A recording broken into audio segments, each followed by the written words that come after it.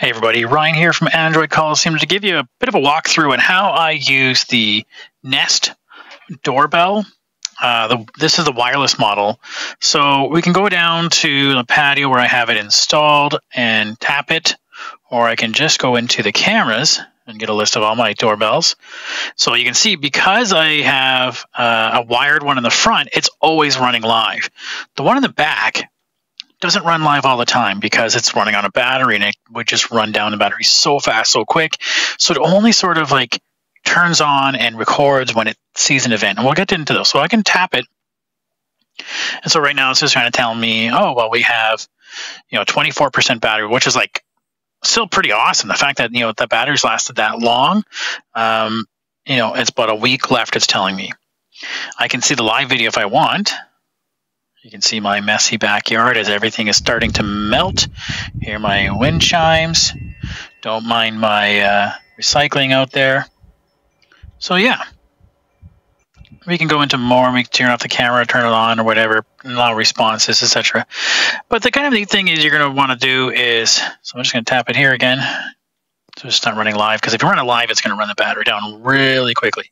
So I can tap here, tap history, and you can sort of see what events have happened. Now, again, I don't have the subscription on this model yet, like I do in the front, where it's constantly recording for seven days. Um, the option is to pay $8 and get all your stuff on, or $80 per year, and it'll store events only, so not 24/7, but events only for the past, uh, you know, 30 days. So you get more time.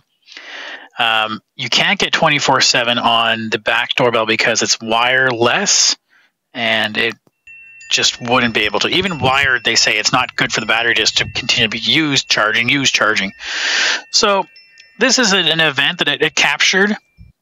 It says there was a person in the fence zone, and I'll talk about the zone, but it must have been a glitch because I don't see any persons that were back there. Now you can see I can't go back. Oh, there's another event here. There was two events. Okay, there were two events. Said this said well, I saw a person, but I can't see anything beyond three hours ago. Uh, if there was, even if there was events. So if I do full history, you can see all the events now. Again, anything before three hours ago, it goes away because I don't pay for it yet. I'm going to switch over soon. Um, so yeah, so that's what we can we can skip ahead to a time and see if we see anybody.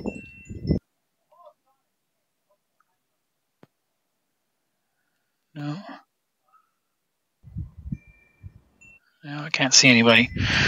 Weird. Okay, so just a little bit of a glitch, but we can go around and check the settings here. So we can see the device itself we can see the notification settings. Uh, the notifications are set up based on what we call the events or the zones um, and what events happen in which zones. So in the doorstep area, I can tap that. I can show you, you know, in that zone right now, it's going to notify me if, if it sees people. It's going to notify me if it sees a package, sees an animal. I don't care to be notified about a vehicle or any other just general motion it's going to tell me about the fence. I have a zone in the very back there where the fence is. So if I see people around my fence, it'll notify me. If I see packages, I don't care. Animals would be maybe neat. Vehicles, I know that's where we park anyway, so we're, we don't care about that. The shed door, again, same idea. I want to know if there's people, animals, or motion back there. And outside, I just want people under motion. I don't care about packages we can go into battery mode and we you know talk about battery saver mode. If so if it gets really low on battery it's only going to record when people actually ring the doorbell. Or i have mine set to custom right? So different settings you know. Or do you want it to last more or do you have more recordings? Up to you how you'd want to play with that.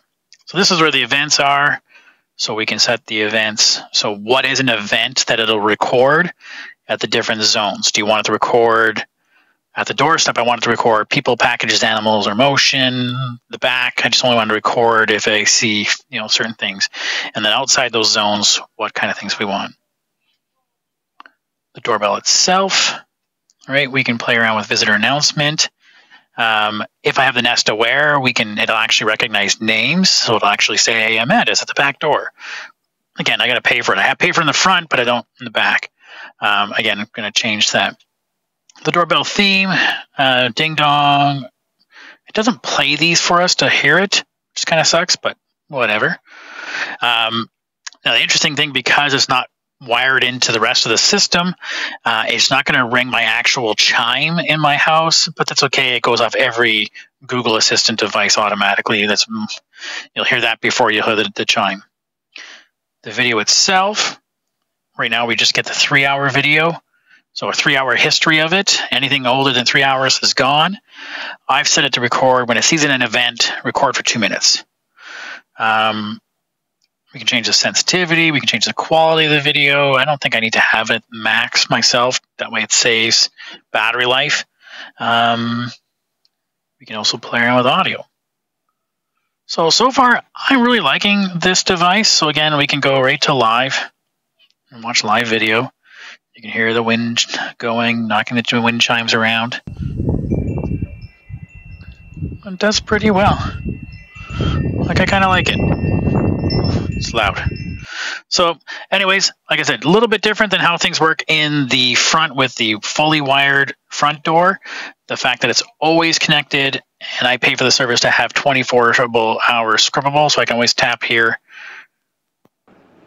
And well, in Nest, the Nest app, I could go ahead and actually look at all the different events. So, and scrub through.